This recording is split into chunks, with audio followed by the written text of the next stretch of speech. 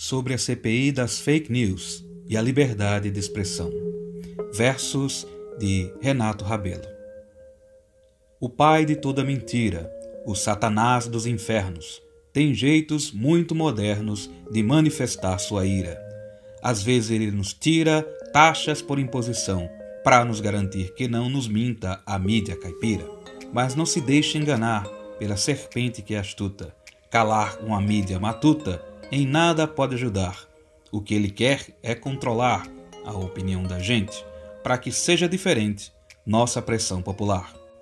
Se quer mesmo melhorar a treva da má notícia, abandone esta malícia e abra espaço para que o ar possa livre carregar a luz da boa verdade e com muita autoridade a escuridão afastar. 7 de junho de 2019. Hashtag não há CPI das fake news.